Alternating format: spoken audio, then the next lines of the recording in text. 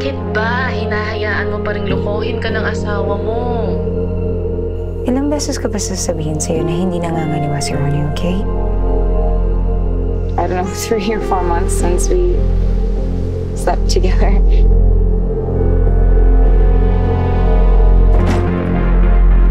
Morning. Ah, si Luisa nga pala, yung kinukwento kong kababata ko. Finally, nag-meet na tayo.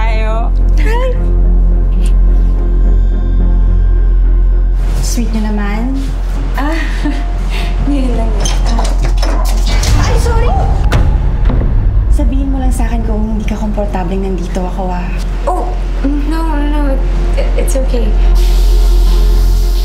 May problema ka ba? Janice, if there's anything you'd like to tell me, sabihin mo lang, okay? Sino ba bang magdadamayan dito kundi tayong dalawa?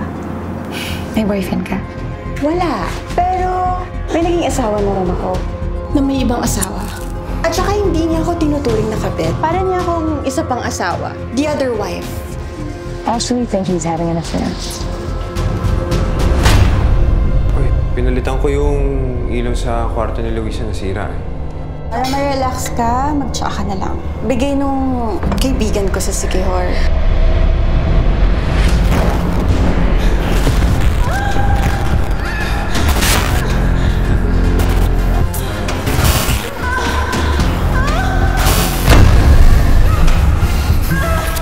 Dami akong kayang gawin na hindi mo akalain kaya ko palang gawin.